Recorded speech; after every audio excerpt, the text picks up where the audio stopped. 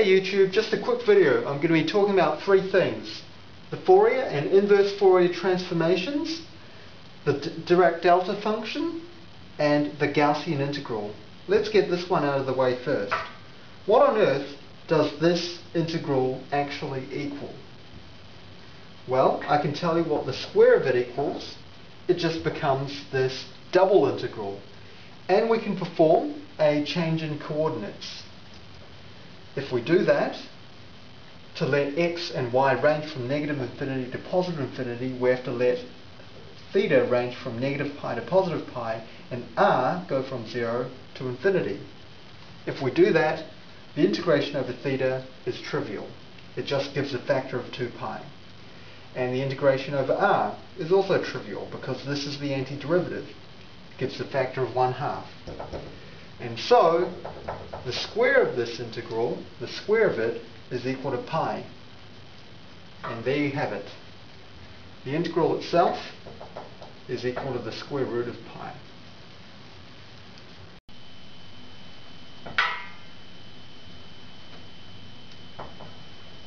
Okay, now notice how we can perform a change of variables such that dx is equal to k dt.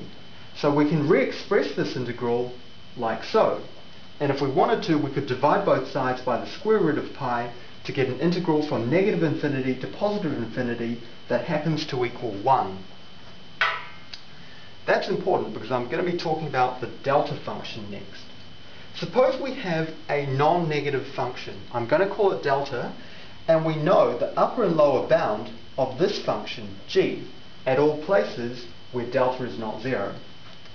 Well, g times delta must be somewhere between the upper and lower bound times delta um, at all places where both conditions are satisfied. And so, if we want, we can plonk an integration symbol and integrate over any domain where these two conditions are satisfied. Well, let's suppose we take delta to be this function here for a chosen value of k. Well, we said just a moment ago that it doesn't matter what choice of k we make, this integral from negative infinity to positive infinity will equal 1. Okay? So, this is just 1. And this is just 1. Next, let's suppose we take the limit as k grows without bound. What will this function look like? Well, delta of 0 is going to grow up and up without bound, because that's just k on root pi. But for any other value of t, this limit will actually tend towards 0. And you can check that using the rule of L'Hopital which states that the derivative of this indeterminate form is just equal to the derivative of the top divided by the derivative of the bottom, and you still take the limit. So the, the denominator grows much quicker than the numerator. So what does it look like? As k gets bigger and bigger, this becomes closer and closer to an infinite spike at t equals 0. For all other choices of t, the function gets infinitesimally small. Okay? And the area underneath it is preserved. It is always equal to 1. So if a and b are the maximum and minimum values of g at all points where delta is not 0, well, there is only one place where delta is not 0, and that's t equals 0. So that's going to be g of 0, and this is also going to be g of 0.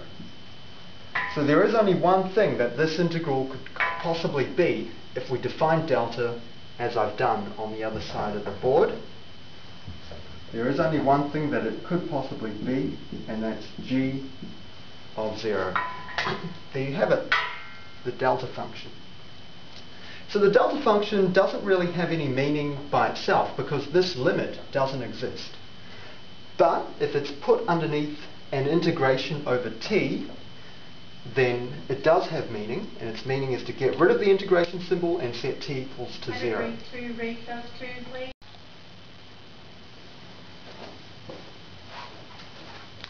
Alright, now I'm going to use this definition of the delta function to prove the Fourier theorem, which states that if you take a function f and you perform the Fourier transform as I've defined it up here, then you can recover the original function f by performing the inverse Fourier transform as I've defined it here. Do you or do you not? Let's check. Alright, so do you or do you not recover f if you perform the Fourier transformation and then multiply by e i omega t and integrate over omega to get to perform the inverse Fourier transformation and divide by 1 on 2 pi. Well, this integral can be combined into a double integral.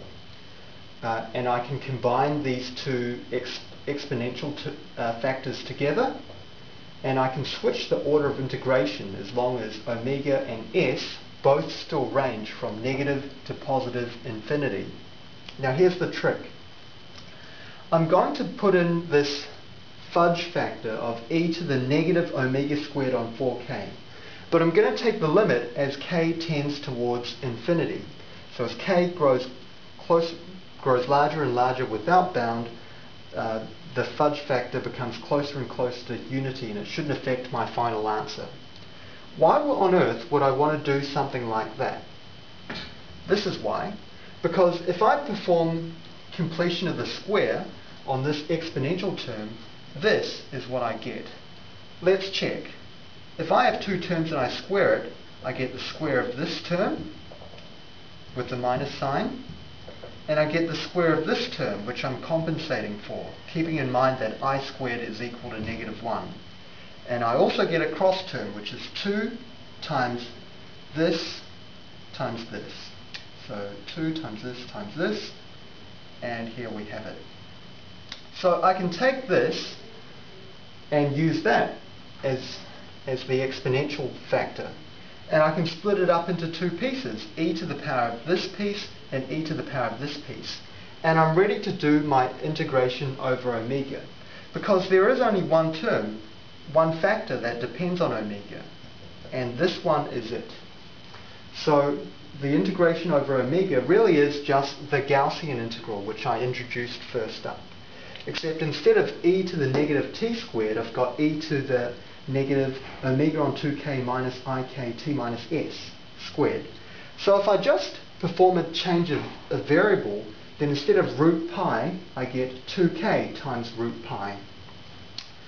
The other factors, the f of s and the e to the negative t minus s squared k squared, they don't depend on omega, so they can be moved out of the integration symbol.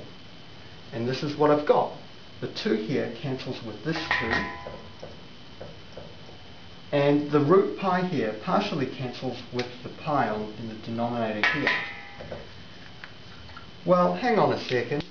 This looks very familiar the limit as k tends towards infinity of k times e to the negative t minus s squared k squared divided by root pi. And indeed it is. So, this here is nothing more than the delta function